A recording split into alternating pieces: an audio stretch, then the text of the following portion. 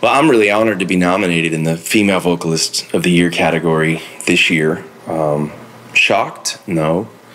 Uh, humbled? Absolutely. Do I think I have a good chance? You better believe it, uh, because I've been singing some of the highest notes that I've sung in a long time. What was the question? uh, okay, ready?